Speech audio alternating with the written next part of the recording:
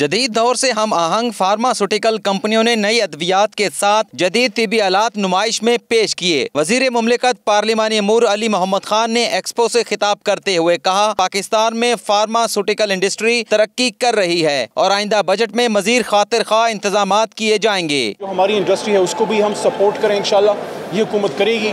اور جس طرح اور سیکٹرز میں پاکستان کو اٹھانے کی کوشش کی جا رہی ہے، جو بنیاد ہے، جو ریڑھ کی ہڈی ہے، کسی بھی ملک پاکستان کے لیے تو زراعت ریڑھ کی ہڈی ہے۔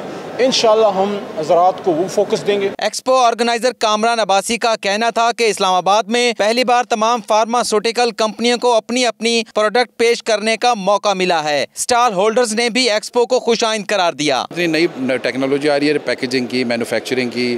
اے پی آئیز کے جو کیمیکلز ہوتے ہیں جو انگریڈینٹس ہوتے ہیں جو اس میں یوز ہوتے ہیں نا تو وہ یہاں پہ انٹروڈیوس کرائے جاتے ہیں۔ یہ فائدہ ہوتا ہے اس انڈسٹری اس کا فائدہ ان کو کافی پہنچتا ہے۔ ہمارے پاکستان کے عوام کو بھی پہنچتا ہے۔ نئی ٹیکنالوجی ہوتی ہے۔ ایک ٹیبلٹ جو بنتی ہے، کوئی سیرپ بنتا ہے، تو اس کی ٹیسٹنگ کے لیے نئے نئے جدید جدید مشینیں آتی ہیں اس کی ٹیسٹنگ وغیرہ کے لیے۔ فوڈ اینڈ فارما ایکسپو سے ترقی اور سرمایہ کاری کے نئے مواقع فراہم کرنے میں مدد ملے گی۔